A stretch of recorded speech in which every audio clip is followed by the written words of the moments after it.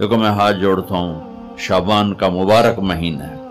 میرے نبی پاک صلی اللہ تعالی علیہ وسلم، جب رجب کا پچھلا مہینہ جو گزر گیا نا، یہ جب آتا تھا تو آپ کہتے تھے اللہ مبارک اللہ فی رجب و شعبان یا اللہ ہمارے رجب اور شعبان میں برکت دے۔